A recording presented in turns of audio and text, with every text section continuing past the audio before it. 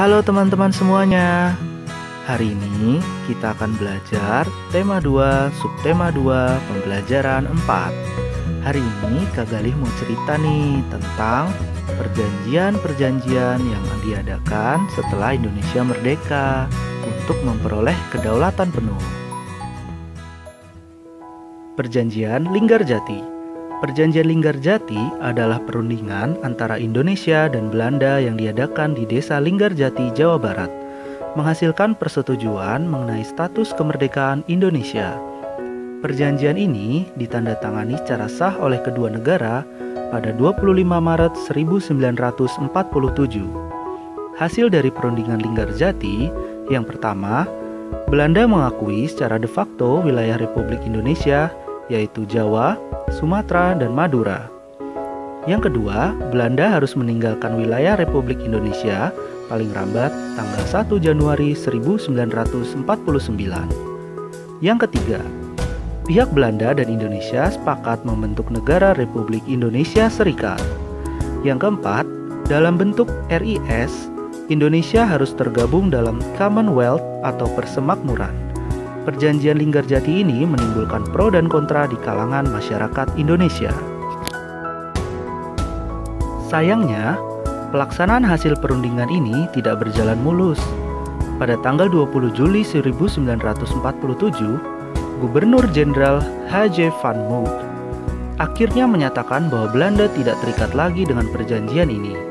Dan pada tanggal 21 Juli 1947, meletuslah agresi militer Belanda I. Perjanjian Renville Perjanjian ini dilakukan antara Indonesia dan Belanda. Perjanjian ini ditandatangani pada tanggal 17 Januari 1948 di atas kapal perang Amerika Serikat yang bernama USS Renville yang berlabuh di pelabuhan Tanjung Priok, Jakarta. Perundingan dimulai pada tanggal 8 Desember 1947. Perundingan ini ditengahi oleh komisi tiga negara, yaitu Amerika Serikat, Australia, dan Belgia.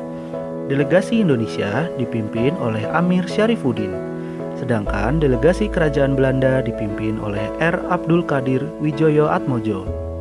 Hasil dari perundingan Renville, pertama, Belanda hanya mengakui Jawa Tengah, Yogyakarta, dan Sumatera sebagai bagian wilayah Republik Indonesia. Kedua, disetujuinya sebuah garis yang memisahkan wilayah Indonesia dan daerah pendudukan Belanda. Yang ketiga, TNI harus ditarik mundur dari daerah-daerah kantongnya di wilayah pendudukan di Jawa Barat dan Jawa Timur.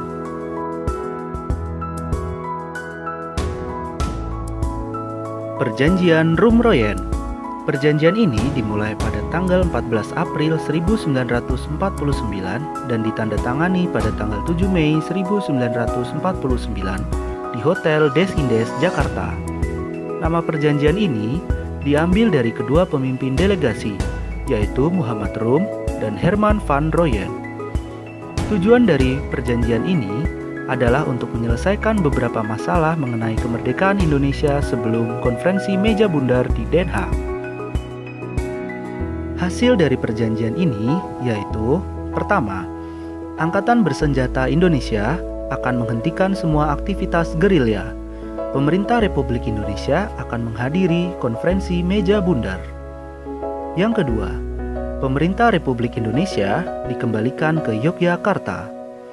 Yang ketiga, Angkatan Bersenjata Belanda akan menghentikan semua operasi militer dan membebaskan semua tawanan perang. Konferensi Meja Bundar.